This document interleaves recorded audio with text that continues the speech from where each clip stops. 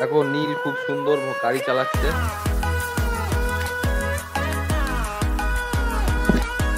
ভিডিওটা ভালো লাগলে একটি লাইক ও সাবস্ক্রাইব করুন